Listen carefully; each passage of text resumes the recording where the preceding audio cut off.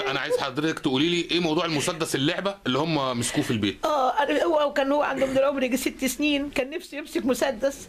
رحنا جايبين له مسدس كده كان ب 25 جنيه كده لعبة كده.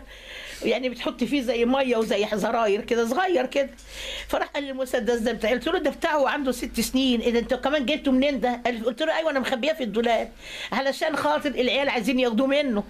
وهو بيعيط على على المسدس ده. فشلته شلته ونسيته يا ابني. من ست ست من سن ست سنين لغاية دلوقتي. الظلمة وراحوا واخدينه منه وراح ماشي. من الضمن حطوه في, في, في العرض اللي حطوه. مسدس لعبة يا ناس. مسدس لعبة يا ناس. الكفر اللي ما يعرفوش ربنا. منهم لله. منهم لله. واحسبهم على الله. منهم لله. ماشي. أنا مش هطول على حضرتك ومش هتعبك أكتر من كده.